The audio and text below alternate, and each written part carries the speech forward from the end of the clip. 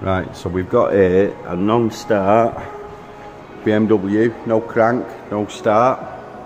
Um, customer uh, breakdown service has been out to the customer. Customer says that um, it'll only start with a boost pack.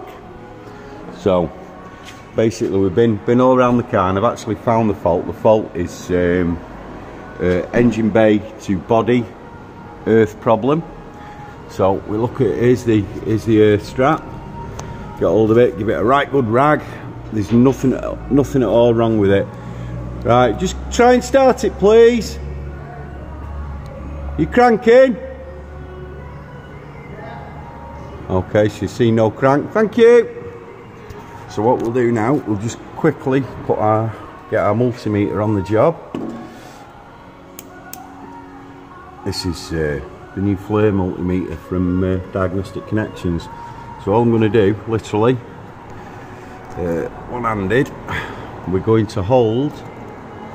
I'll put you, I'll put you in this so you can see the meter. But all literally, what I'm going to do, I'm going to put one connection there on the nut of the body earth and then I'm going to put one connect one pin one probe on the actual back of the gearbox okay so I'll just you, leave you looking at that meter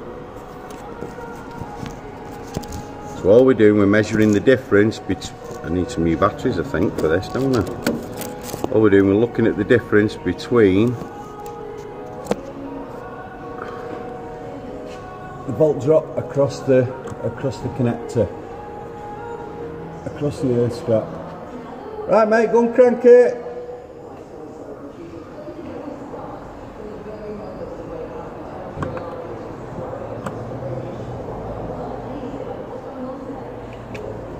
right try start it. Thank you.